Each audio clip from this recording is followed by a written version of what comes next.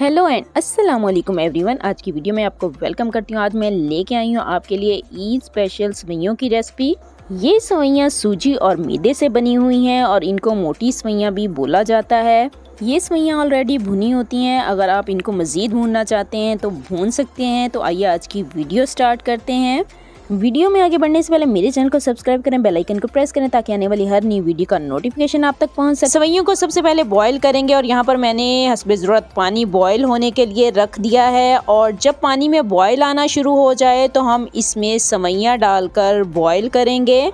सवैयों को हमने पानी में 10 मिनट के लिए बॉईल करना है और अगर आप वक्त का हिसाब नहीं रखना चाहते तो सवैयों को इतना बॉईल करें, इतना बॉईल करें कि सवैयाँ जो हैं वो सॉफ्ट हो जाएँ।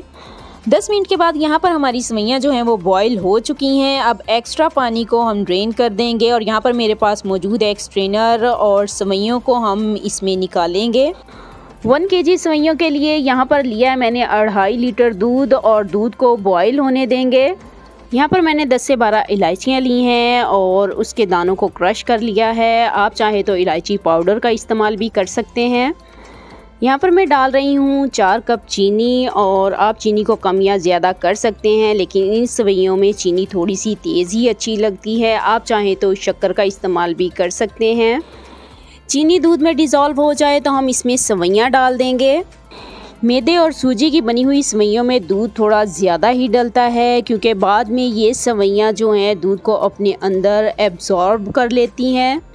सवैयाँ डालकर सवैयों को मिक्स करेंगे और इसके बाद आप यहाँ पर देख सकते हैं कि सवैयों में बॉयल आना शुरू हो चुका है और बस एक से दो बॉयल आएँगे तो हमारी जो सवैयाँ हैं वो रेडी हो जाएँगी। सवैयाँ तैयार हो चुकी हैं। डिश आउट करने से पहले जल्दी से जाइए और मेरे चैनल को सब्सक्राइब करके आएँ। बेल आइकन को प्रेस करें ताकि आने वाली हर न्यू वीडियो का नोटिफिकेशन आप तक पहुँच सके।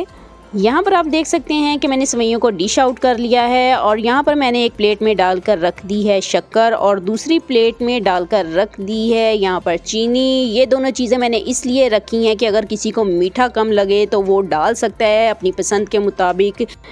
वीडियो पसंद आई हो तो वीडियो को लाइक लाजमी कीजिएगा और इसी के साथ मैं आप सबसे इजाज़त चाहती हूँ। जहाँ रहें, खुश रहें, आबाद रहें और अपनी दुआ में मुझे याद रखें। Take care and Allah हाफि